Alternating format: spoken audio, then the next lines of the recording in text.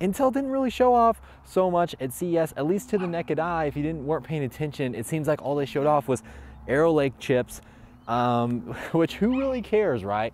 I mean, sure, if you're gonna buy a high-end laptop, you know, you can go Arrow Lake if AMD's out of stock, but honestly, I'd probably go with AMD and laptop right now, just seeing how Arrow Lake performed in gaming. If you're just doing content creation, you can make a case for Arrow Lake. But we were talking about their laptop Arrow Lake chips, guys. Intel also announced that they're launching Panther Lake on Intel 18A. Yeah, that's right, the most advanced node in the world coming to laptops.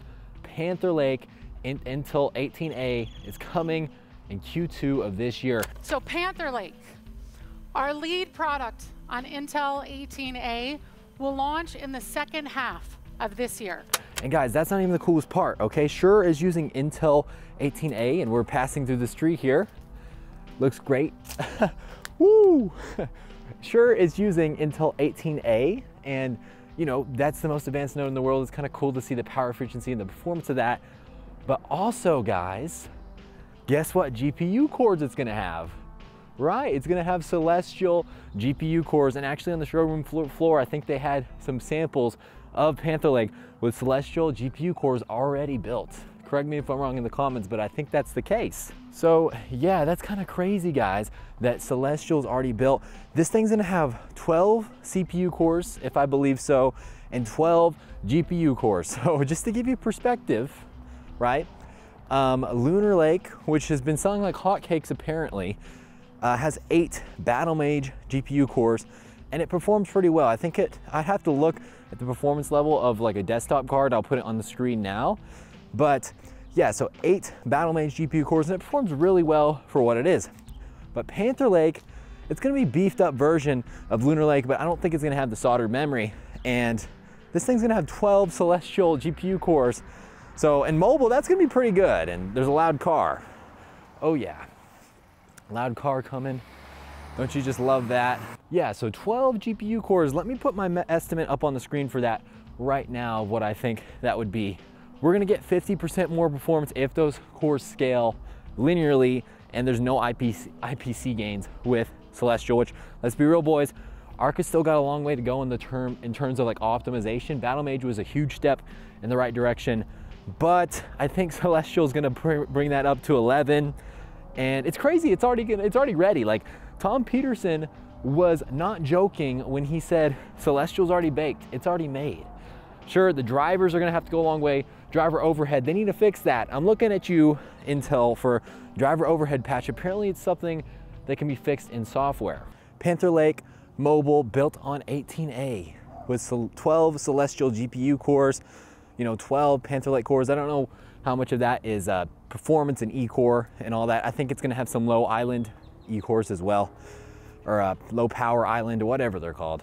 So at the bare minimum, probably 50% more performance than Lunar Lake. So I'll put up whatever graphics card that is equal to up on the screen, and we're gonna get that in an APU solution. Now, some of you may be thinking, this is a little bit too little too late, man. Uh, Strix Halo is coming out. This thing's gonna have probably RX 5700 XT uh, desktop GPU performance, maybe even more. And uh, it's gonna be too little too late, man. That thing can have like 128 gigabytes of RAM, and why would you buy Panther Lake? Number one, this thing's probably gonna be a lot cheaper. I'm gonna say that now. Number two, it's gonna be more energy efficient. It's built on a silicon interposer, Intel Foveros technology. Um, they said 70% of the silicon in this thing will be from Intel. So uh, I think they're gonna be using like IO tile from TSMC, probably like uh, six nanometers still. But then, um, you know, the CPU and GPU cores are gonna be built on Intel 18A. Let's go. Uh, finally, it's coming out. It, we've been waiting for this moment for Intel for a long time.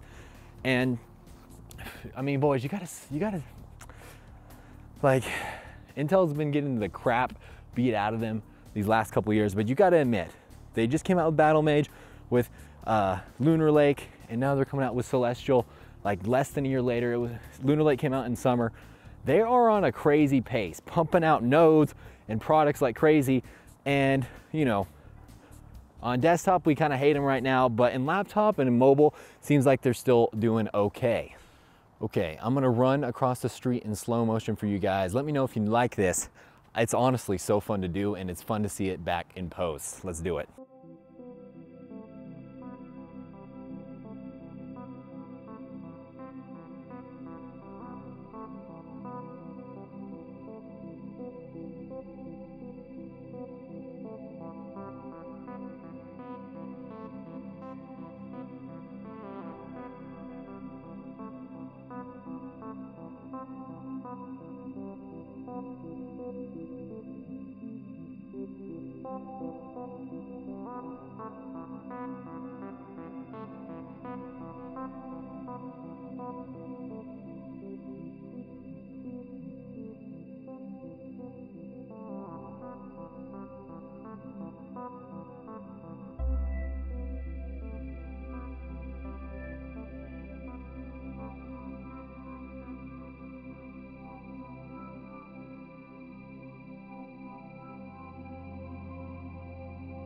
Honestly, all we need now is Intel to upgrade the Z890 platform with Panther Lake CPU cores.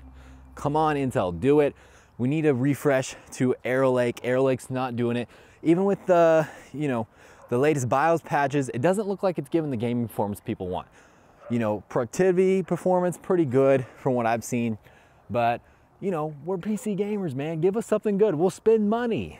Uh, so Z890 platform, maybe Z990. Whoa, sounds kind of big and sexy.